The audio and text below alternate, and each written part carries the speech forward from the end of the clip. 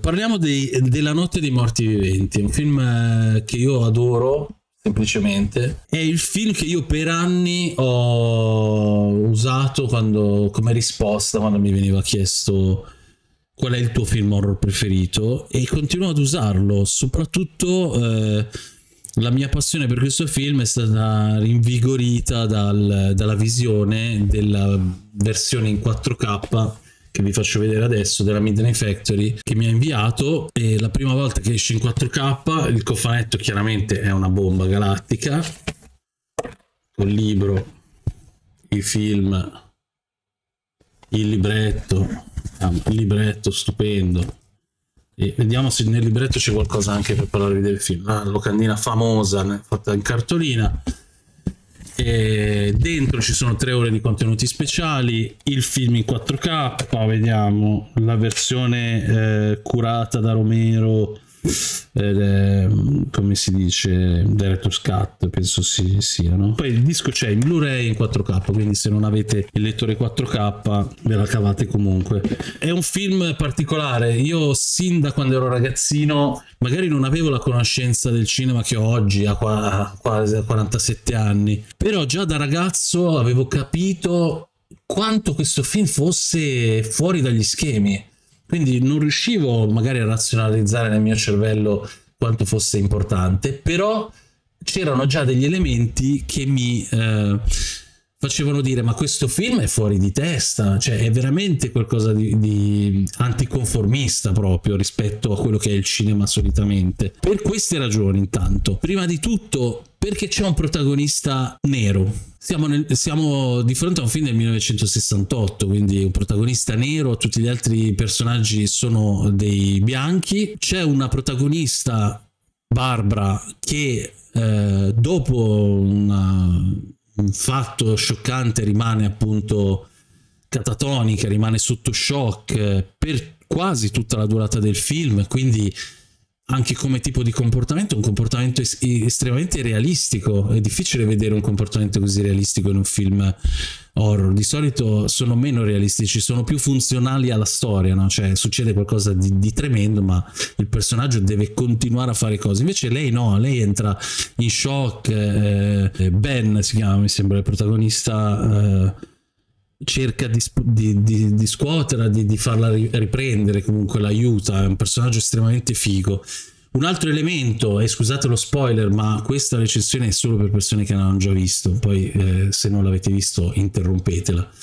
Un altro elemento incredibile è che lui muore, lui, l'unico che meritava di sopravvivere, perché? Perché si è, si è battuto in tutti i modi per salvare tutti, si è battuto per cercare di di proteggere se stesso e gli altri, ha fatto le scelte più razionali e alla fine muore per un, per un equivoco, ucciso da questi giustizieri, insomma gente che sta cercando i non, i non morti per ucciderli e, e, lo scambia per un non morto. E, e allora lì questo film eh, porta dentro di sé tutta una serie di stimoli per pensare che questo sia un film, un film politico, la cosa interessante secondo me, e qui magari sarò, andrò contro tendenza, è che secondo me non è un film politico nel senso in cui viene inteso dalla maggior parte dei critici o di quelli che hanno parlato di questo film.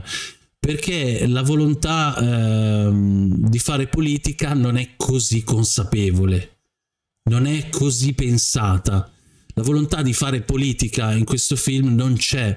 C'è però un personaggio molto progressista che è Romero che decide di fare un casting come, come si il termine che si usa è blind cast blind casting blind casting.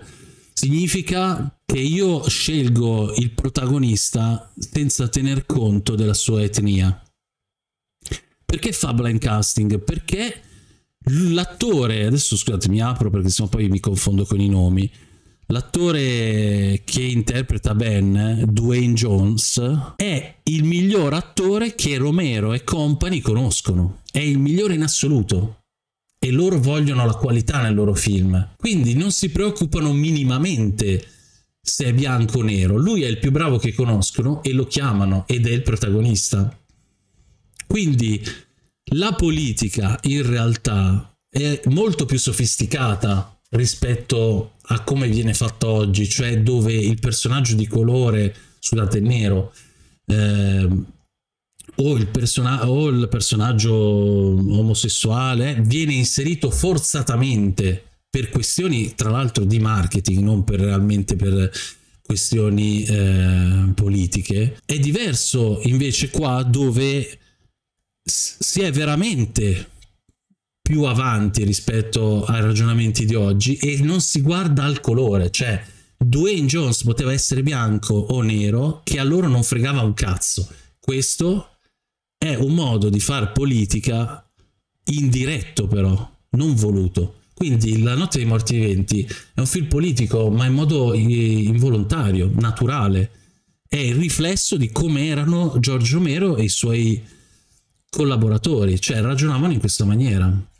Quindi il film rispecchia la loro, la loro, mentalità. È interessante però che appunto le loro convinzioni, il loro modo di ragionare poi abbiano intriso il film di tutta una serie di eh, elementi affascinanti che fanno vedere il film come qualcosa di estremamente politico. Quindi gli zombie come la rappresentazione della società americana, del consumismo, del capitalismo, eh, l'uomo che divora un altro uomo.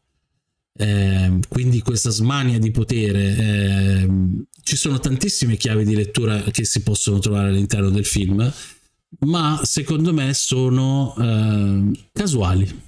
E penso che sia la cosa affascinante del film, non perché non siano volute, ma perché sono del tutto, del tutto casuali, sono eh, involontarie.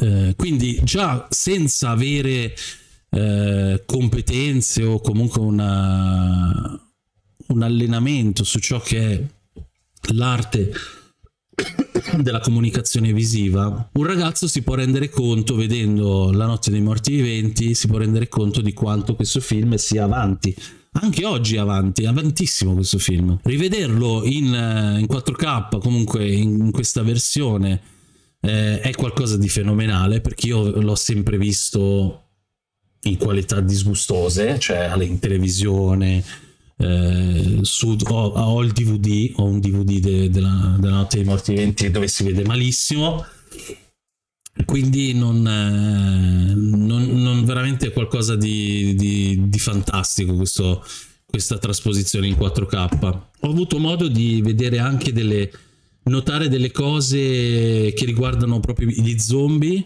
che come sapete appunto sono i primi, i primi zombie concepiti in questa maniera. Sono gli zombie di Romero, infatti, viene definito così, viene definito quasi il libro della genesi degli zombie, questo film, cioè il, il, il, il punto di partenza di un, di un, tipo di mostro che poi sarà portato avanti per, per un sacco di tempo. Ma ci sono delle cose che secondo me si sono perse forse addirittura anche nei film di Romero si sono perse, che, sono, che ho notato nel primo film, che è un film molto più ingenuo per quanto geniale.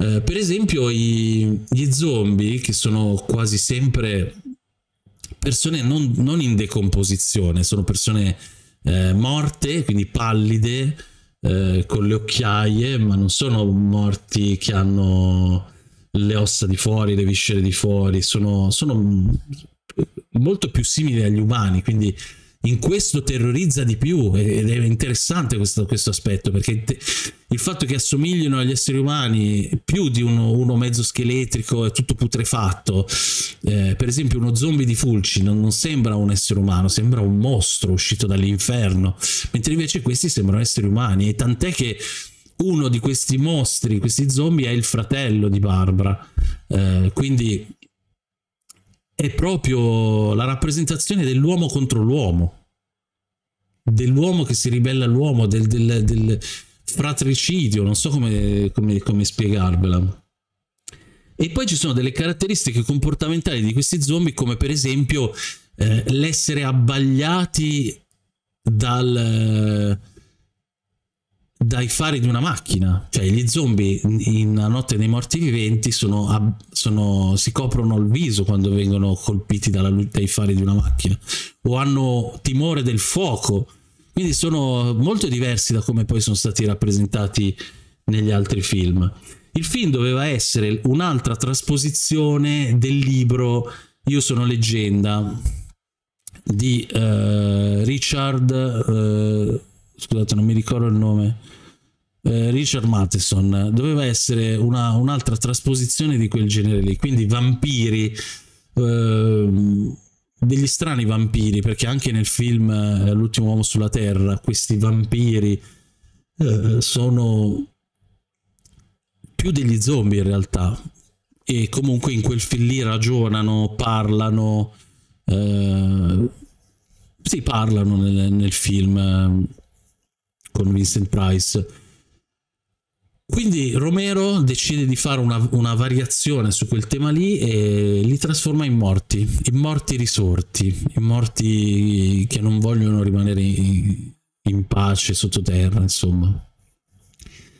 E il film addirittura si doveva chiamare Night of, An of Anubis per fortuna non si è chiamato così perché quindi boh, probabilmente andava a pescare da, da cose religiose di, di, altre, di altre culture.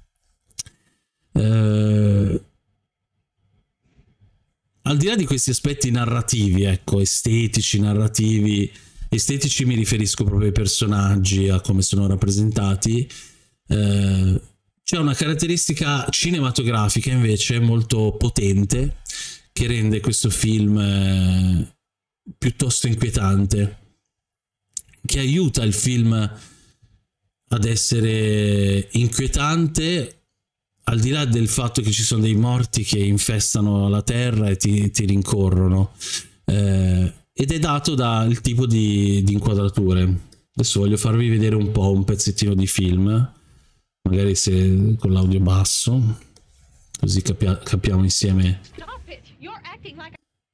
che tipo allora il film è caratterizzato da due tipi di inquadrature una con la telecamera poggiata su un cavalletto quindi statica fissa eh, stabile quindi un cinema um, più classico come potete vedere qua e altre, che, e altre inquadrature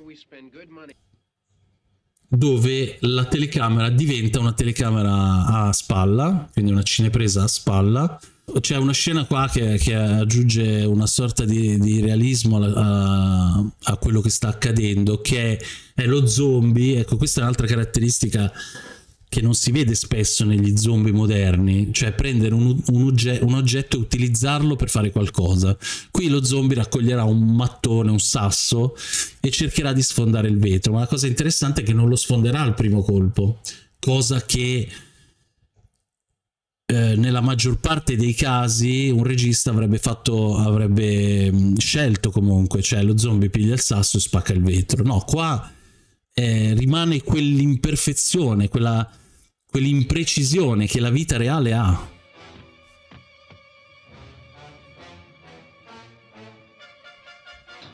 Vedi? Non è una cosa immediata, no? Lui non è che prende e spacca il vetro. E c'è, dietro un lavoro. Quindi è una cosa, una cosa molto particolare che dona, dona, tantissimo realismo al film. Poi, adesso vi faccio vedere eh, due, due caratteristiche importanti. Il film eh, ha questo, nel momento in cui la telecamera diventa una telecamera a spalla, una cinepresa a spalla, guardate come gli assi si inclinano in continuazione. Eh, in questo caso abbiamo visto proprio la... guardate come, come, come si inclinano continuamente e alcune inquadrature addirittura sono dal basso e dall'alto in modo eh, adesso qua la, la, situazione si è calmata, però se noi andiamo su, adesso la cerco, di, ecco guardate questa inquadratura dal basso, questa inquadratura è con questa diagonale fondamentalmente perché è una diagonale da, da terra verso quasi l'angolo opposto del soffitto, da, vedete il soffitto nella parte qua, ecco sembra una diagonale che va fino a, fino a qua, ecco queste inquadrature soprattutto quando ci sarà l'invasione. Adesso ci vado, scusate. Qua ci sono le interiora. Ecco, questo qua è il primo film dove vengono divorati le interiora de, degli esseri umani, anche se questi sono di animali, chiaramente sono, sono andati in macelleria a prendere questa roba.